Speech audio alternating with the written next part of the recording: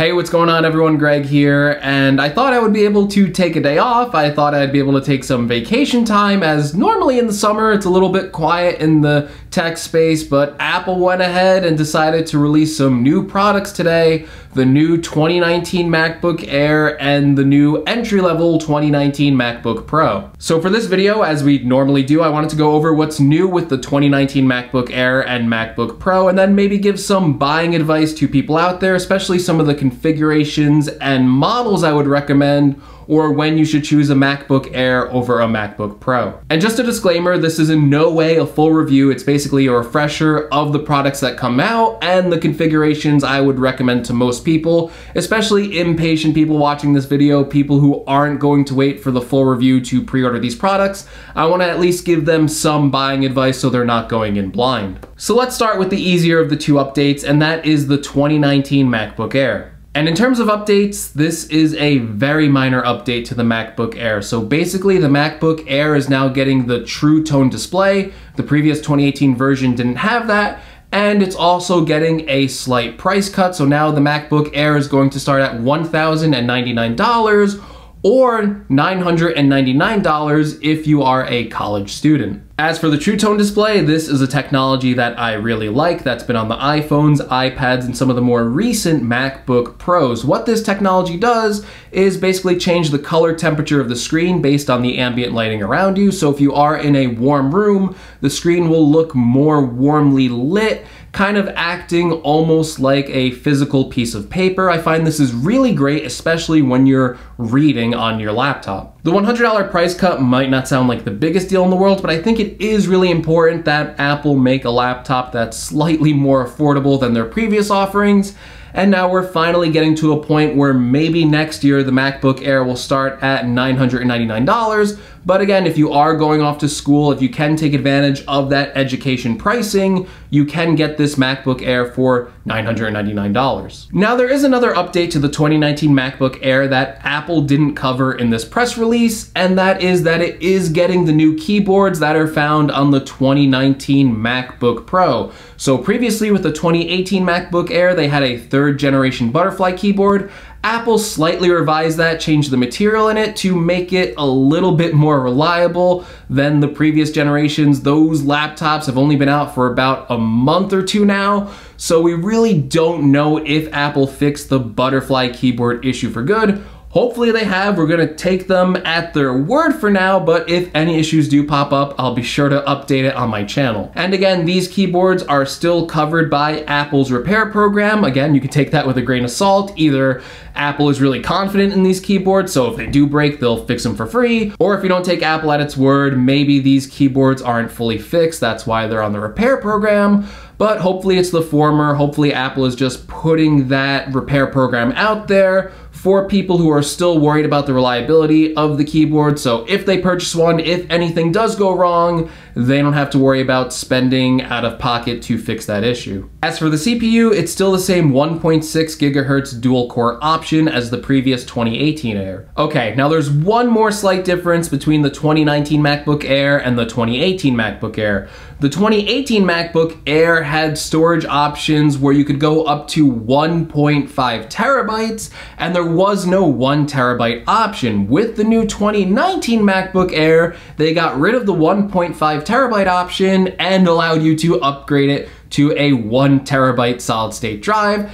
This makes a lot more sense in my opinion because the previous jump was from 512 gigabytes to 1.5 terabytes, and that was a pretty big jump, especially when you consider this is a more budget-friendly model of the MacBook line. Speaking of storage, Apple cut the price almost in half for all of the SSD storage upgrades on the MacBook Air, and across all other Mac lineups. So if you're buying a MacBook Pro, a MacBook Air, an iMac, an iMac Pro, or a Mac Mini, go check those storage options because Apple did cut the price quite a bit. Okay, so for people who are in the market for a MacBook Air, should you really go for that starting base model at $1,099? I'm gonna say no for most people, and here's why. It comes with a 128 gigabyte solid state drive, and honestly, that is a very small amount of storage for a modern day laptop. I would really recommend you bump that up to at least 256 gigabytes for an additional $200. Unless you absolutely know that you only need 128 gigabytes of storage, if you're buying the Air and you're only going to browse the web or stream Netflix or watch YouTube, that is probably the only case where you won't be needing additional storage. So if you know that you aren't going to be downloading any apps, storing any photos or videos, then you can probably squeak by with that 128 gigabytes of storage. However, for most people, I really recommend going with the 256 gigabyte option. If you need even more storage, you can add another 200 for the 512 gigabytes and then another $200 for the one terabyte option. Now the only upgrade you can make to your 2019 MacBook Air is in the RAM department. So it comes with 8 gigabytes as standard, and you can spend an additional $200 to bump that up to 16 gigabytes. If you're a light user, I still think that 8 gigabytes of RAM runs fine on macOS, especially with the fast solid state drives that are in these computers. When it's switching over between virtual RAM and actual RAM, it's really hard to notice that switch. But again, try and know what kind of workflows you're going into. If you're going to have a lot of browser tabs open, especially if you're using Chrome, if you're doing any sort of photo or video editing, if you just like to have a lot of applications open at once and you want the most absolute speed possible and you don't want to be refreshing or closing apps constantly, then go and bump that up to the 16 gigabyte option. Okay, let's talk about the bigger update for today, and that comes in the new entry-level 2019 MacBook Pro. So Apple has completely gotten rid of the Escape Key MacBook Pro, and now the touch bar comes standard on all models starting at $1,299. Honestly, this was a pretty big surprise for me because if I was reading the tea leaves, I would think that Apple was more inclined to be getting rid of the touch bar in the future, but it looks like they're doubling down on that technology and they're bringing it across all of the MacBook Pros now. So any MacBook Pro that you buy is going to have a touch bar on it. As for the processor, we're getting a new 1.4 gigahertz quad-core 8th generation CPU with turbo boost up to 3.9 gigahertz. For $300 more, you can bump that up to an i7 processor with 1.7 gigahertz and turbo boost up to 4.5 gigahertz. On paper, this seems like a pretty good upgrade to the entry-level MacBook Pro, which hasn't been updated since 2017, and that came standard with a dual-core processor. So now the entry-level MacBook Pro comes standard with a quad-core processor. Of course, like the MacBook Air, this is also coming with the new revised Butterfly keyboard. Again, this product starts at $1,299, and if you want to bump up all the specs on it, you can max it out at $2,799. Like the 2019 Air, the 2019 Pro also comes standard with 128 gigabytes of storage.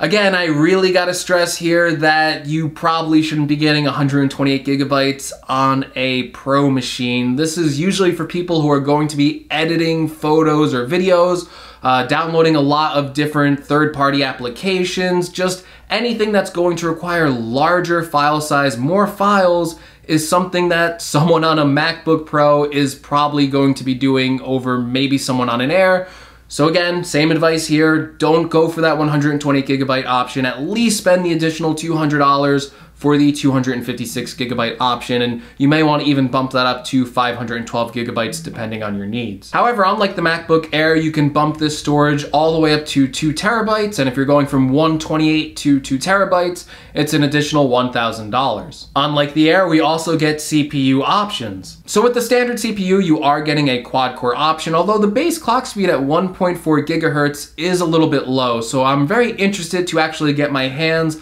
on this version of the MacBook Pro and see just how well that processor performs, but I really can't give you a definitive answer if you should upgrade from the i5 to the i7. However, traditionally, if you need more processing power, if you're doing anything like photo editing, video editing, or even if you're doing some sort of development with coding, getting a better processor is usually going to be better for you. As for the RAM, we're in the same boat as the 2019 MacBook Air. We only get an 8 gigabyte or a 16 gigabyte option with the credit that this is a MacBook Pro, so the people that are buying this computer are more likely to be doing prosumer or pro level tasks, so if you know you're going to be doing heavy video editing, photo editing, or just things that require a lot more RAM than 8 gigabytes, go ahead and bump that up to 16 gigabytes. But again, if you're just kind of buying this for more basic stuff, maybe you wanted a little more horsepower than the MacBook Air, 8 gigabytes should be fine as long as you don't plan on having a lot of applications open at once. So at this point, you're probably wondering, should I get a MacBook Air or a MacBook Pro? They're only $200 apart in price. And I think that answer is actually pretty simple in Apple's laptop lineup. If you're an everyday person and want a solid laptop with a slightly lower weight, fans that aren't as loud, a body that doesn't get as hot, better battery life by around two hours,